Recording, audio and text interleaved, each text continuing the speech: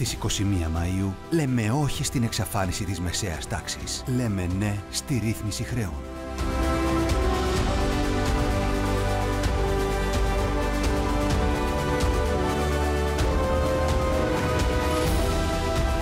Στις 21 Μαΐου λέμε ναι στην αλλαγή, στη δικαιοσύνη για όλους, στη δικαιοσύνη παντού. ΣΥΡΙΖΑ Προοδευτική Συμμαχία. Συμβόλαιο αλλαγής.